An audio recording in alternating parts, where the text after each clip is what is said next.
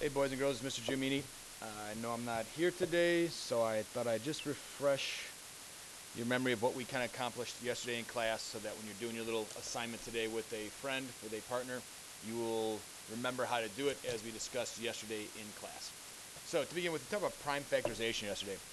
Keyword here is prime, and we should remember our prime numbers are numbers that have only two factors, one and itself.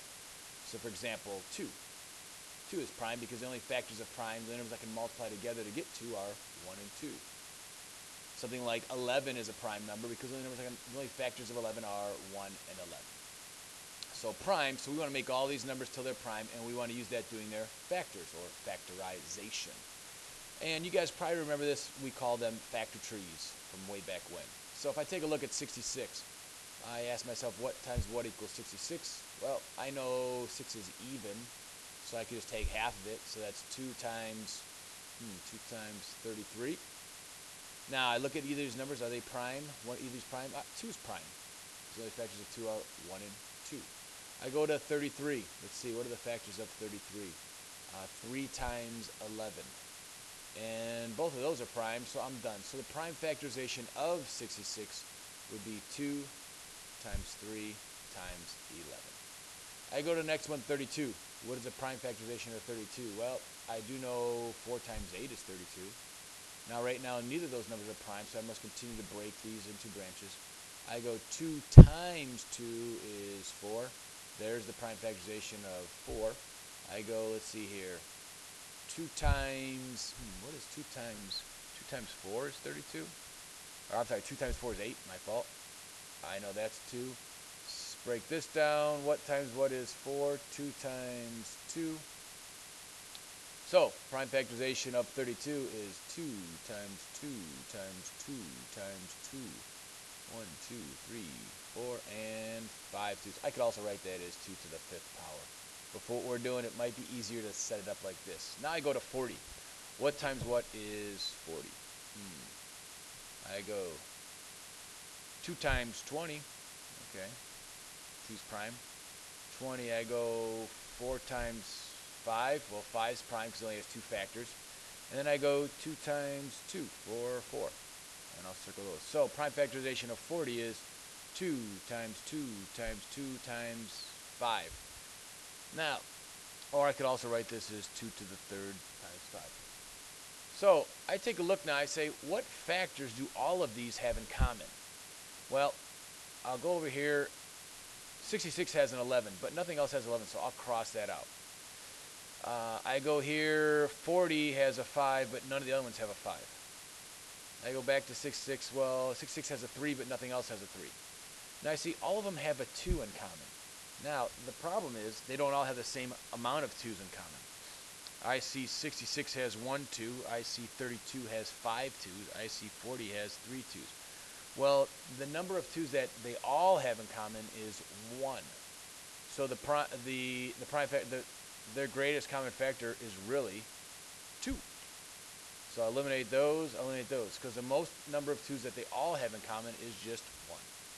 Now, we talked about applying this then to a story problem. So let's take a look at this story problem says Mr. Giomini has 30 calculators, 44 geometry templates, and 60 protractors. He wants to have a group activity for the students where each group receives the same number of materials without any left over. How many groups can he form, and how many calculators, templates, and protractors will each group receive? Well, first thing I do here is on identifying numbers. 30 calculators, 44 geometry templates. Let me actually circle these.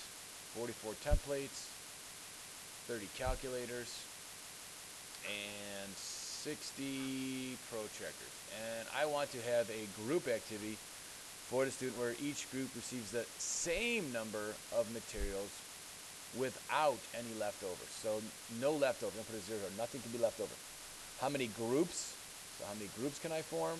And then how many calculators, templates, and protractors will each group receive? So let's first take 30, 44, and 60. And let's use prime factorization. So I'm going to find out the greatest common factor, the number that goes into all of them. Uh, so 30 would be 2 times 15, I'm guessing, because half of 30 is 15. Then I go 15 is 3 times 5. Okay, those are all prime. So the prime factorization of 30 is 2 times 3 times 5. The way I could check see if I'm right, all these numbers are prime, and then I could say, hey, wait, 2 times 3 is 6, 6 times 5 is 30. Let's go to 44. What times what is 44? Uh, well, half of 44 is 22, so I'll just take it in half. All right? 2 is prime. What times what is 22? Uh, I think I would have... Uh, someone just told me 11 times 2, so I'll go 2 times 11. Both of those are prime. So, there's my three prime numbers. So it's 2 times 2 times 11. This could also be written as 2 to the second power times 11. But for our purposes, we'll leave it as this. Okay, what times what is 60? Well, I'll go 6 times 10. What times what is 6? Uh, 3 times 2, there we go. Maggio's helping me out here. These are both prime, so I'll circle them both. Over here, what times what is 10? I think it's 2 times 5. And those are both prime. All right, so taking a look, prime factorization of 60. 2 times 2 times 3 times 5.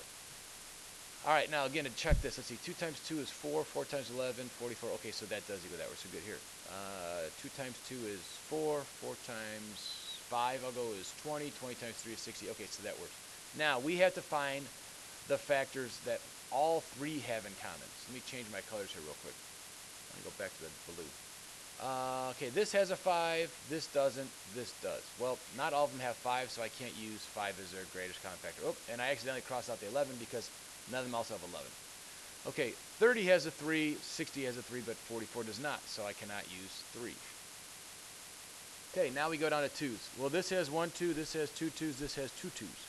Okay, so they all have 2s in common, but what's the greatest amount or number of 2s that they all have in common? Well, the greatest amount would be 1 because this has two twos, this has two twos, this only has one. So the greatest amount that they all have in common would be one. So the greatest common factor for all of these would be two.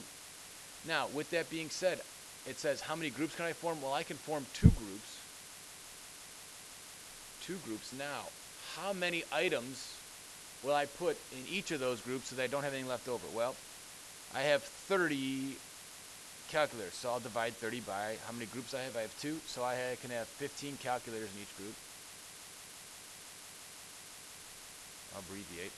Uh, I'm going to have two groups, so I'm going to divide 44 into two groups. So I can have, that gives me 22 templates in each group.